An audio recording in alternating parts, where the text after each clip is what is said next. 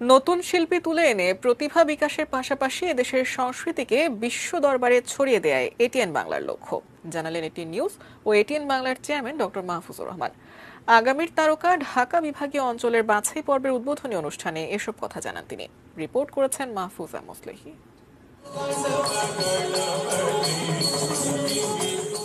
Classical কি লোকজো আবহমান বাংলার সুর, তাল এবং ছন্দের এমন দোতনা প্রকাশে সকাল থেকেই দিনভর এফডিসিতে চলে আগামীর তারকা ঢাকা অঞ্চলের বাছাই পর্ব। প্রাথমিক বাছাই শেষে ঢাকা অঞ্চলের এই পর্বে অংশ নেয় পাঁচশো প্রতিযোগী। সারা দেশে একইভাবে বাছাই পর্ব চলছে নটি অঞ্চলে।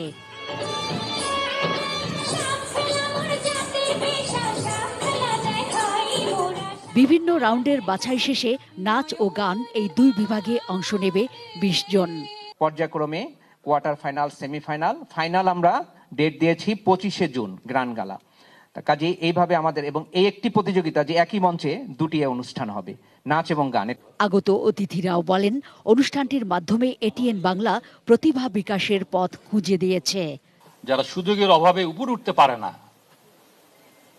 তারা এই অনুষ্ঠানের মাধ্যমে এগিয়ে আসবে এবং আমাদের জাতি ভবিষ্যতে আরও ট্যালেন্টের লোক পাবে। এই প্রতিযোগিতার মাধ্যমে যে প্রতিভাগুলো বের হয়ে আসবে, তারা বাংলাদেশের সংস্কৃতিকে লালন করবে, বুকে পোষণ করবে এবং দেশকে একটি সমৃদ্ধ শিল্প উপহার দিবে।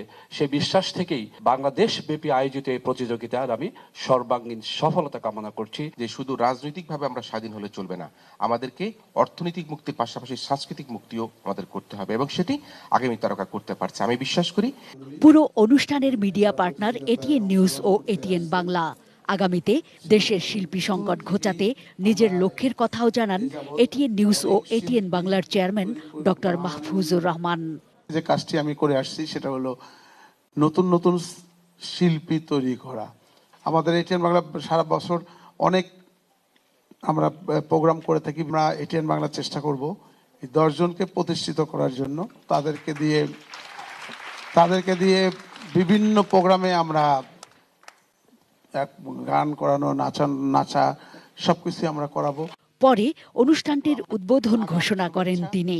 ঢাকা অঞ্চলের প্রতিযোগিতার উদ্বোধন ঘোষণা করছি। Mahfuza Muslehi ATN news Dhaka. সবাই